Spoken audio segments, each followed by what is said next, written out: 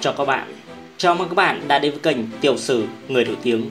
Trong bản tin ngày hôm nay sẽ cung cấp cho các bạn thông tin tiểu sử đồng chí Vũ Hải Sản. Đồng chí Vũ Hải Sản là một sĩ quan cấp cao trong quân đội nhân dân Việt Nam với quân hàm trung tướng. Ông hiện là ủy viên Ban chấp hành Trung ương Đảng Cộng sản Việt Nam khóa 12, ủy viên Quân ủy Trung ương, Thứ trưởng Bộ Quốc phòng, Phó Bí thư Đảng ủy, Tư lệnh Quân khu 3.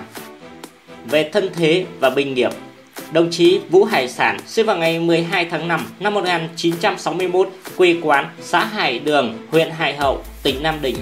Từng học tại trường Trung học phổ thông B Hải Hậu Nam Định. Đồng chí Vũ Hải Sản là đảng viên Đảng Cộng sản Việt Nam.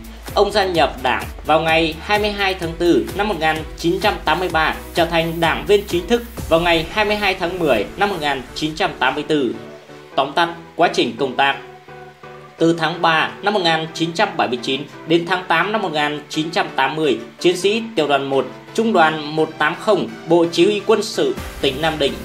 Từ tháng 9 năm 1980 đến tháng 9 năm 1983, học viên trường sĩ quan lục quân 1. Từ tháng 10 năm 1983 đến tháng 5 năm 1985, trợ lý tác chiến sư đoàn 323 đặc khu Quảng Ninh. Từ tháng 6 năm 1985 đến tháng 10 năm 1987, đại đội trưởng thuộc sư đoàn 323 đặc khu Quảng Ninh. Từ tháng 11 năm 1987 đến tháng 8 năm 1988, Phó Tiểu đoàn trưởng Tiểu đoàn 264 Trung đoàn 43 Bộ Chỉ huy Quân sự tỉnh Quảng Ninh. Từ tháng 9 năm 1988 đến tháng 7 năm 1989, Tiểu đoàn trưởng Tiểu đoàn 274 Trung đoàn 43 Bộ Chỉ huy Quân sự tỉnh Quảng Ninh. Từ tháng 8 năm 1989 đến tháng 10 năm 1992, học viên Học viện Lục quân. Từ tháng 11 năm 1992 đến tháng 8 năm 1993, Phó Tham mưu trưởng Trung đoàn 43 Bộ Chỉ huy Quân sự tỉnh Quảng Ninh. Từ tháng 9 năm 1993 đến tháng 7 năm 1996, Phó Trung đoàn trưởng, Tham mưu trưởng, Trung đoàn 43, Bộ Chỉ huy Quân sự tỉnh Quảng Ninh. Từ tháng 8 năm 1996 đến tháng 8 năm 2001, Trung đoàn trưởng, Trung đoàn 43, Sư đoàn 395, Quân khu 3. Từ tháng 9 năm 2001 đến tháng 8 năm 2002, học viên Học viện Lục quân.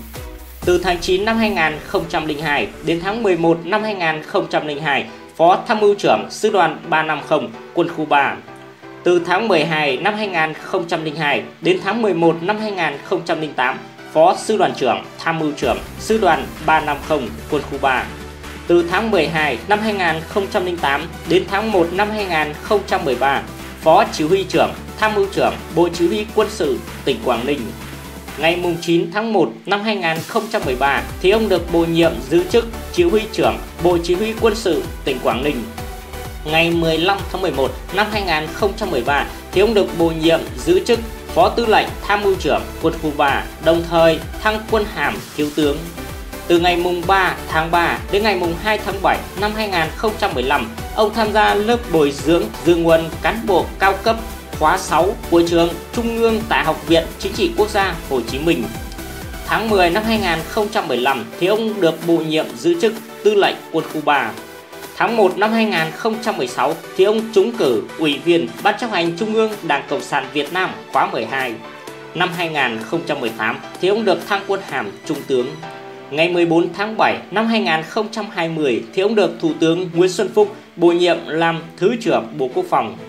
Về lịch sử phong quân hàm Trung úy năm 1983, Thượng úy năm 1985, Đại úy năm 1987, thiếu tá năm 1990, trung tá năm 1996, thượng tá năm 2000, đại tá năm 2004, thiếu tướng năm 2013, trung tướng năm 2018. Cảm ơn các bạn đã quan tâm theo dõi. Các bạn đừng quên bấm like, đăng ký kênh và bật chuông để nhận được những video mới nhất. Xin chào và hẹn gặp lại các bạn ở những video tiếp theo.